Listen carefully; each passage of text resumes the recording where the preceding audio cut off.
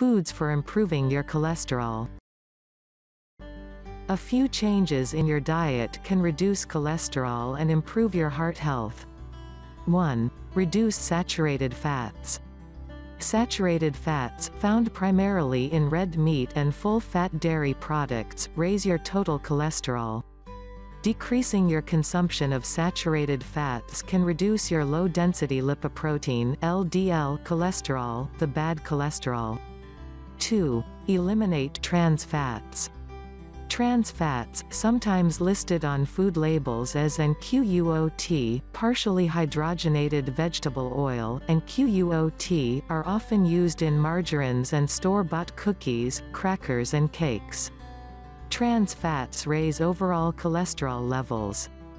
The Food and Drug Administration has banned the use of partially hydrogenated vegetable oils by January 1, 2021. 3. Eat foods rich in omega-3 fatty acids.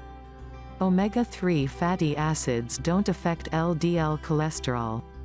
But they have other heart-healthy benefits, including reducing blood pressure. Foods with omega-3 fatty acids include salmon, mackerel, herring, walnuts and flax seeds. 4. Increase soluble fiber.